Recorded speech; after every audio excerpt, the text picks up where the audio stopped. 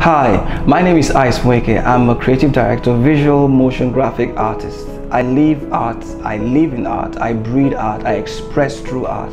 That is why I call myself uh, an artist in general. Walking into my first art class in primary school, my teacher told me something very significant that stuck with me, which is art is an expression of the inner mind.